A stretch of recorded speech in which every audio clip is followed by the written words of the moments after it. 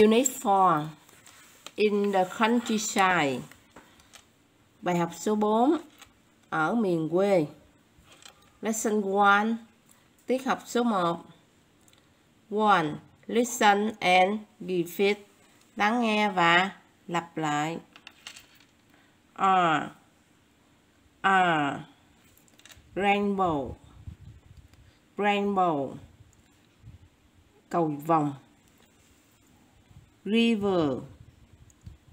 River dòng sông. Road road con đường. Chú phone and say. Hãy chỉ vào và nói. Rainbow giver god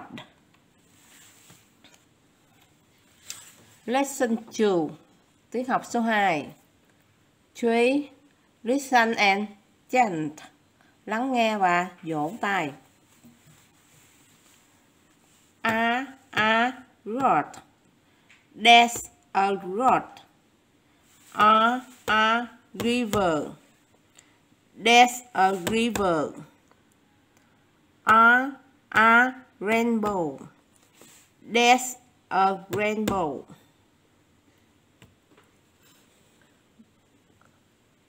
Con đường.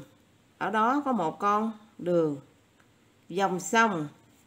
Ở đó có một dòng sông, cầu vòng. Ở đó có một cái cầu vòng. Four. Listen and circle. Lắng nghe và khoanh tròn.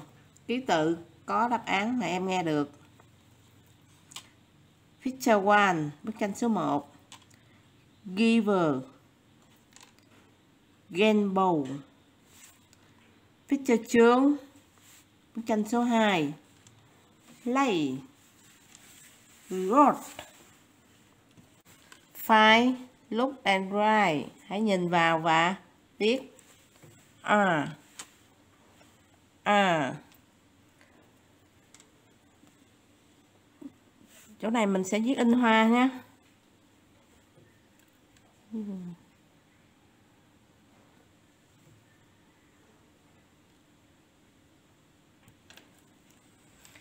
Cái này mình sẽ viết in thường nè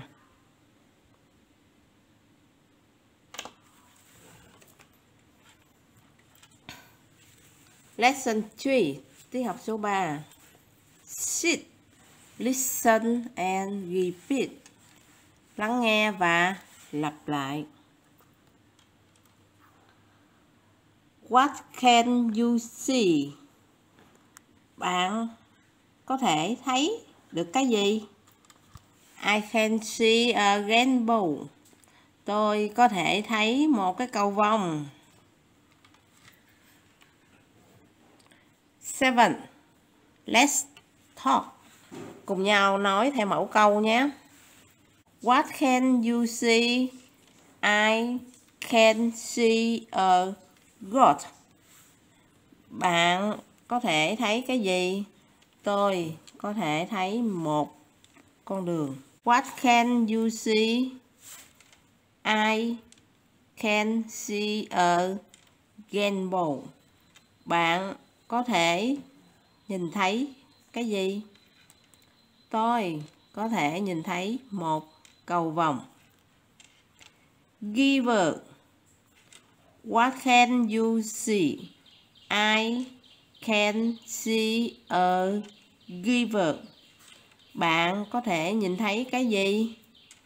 Tôi có thể nhìn thấy một dòng sông. A. Let's sing.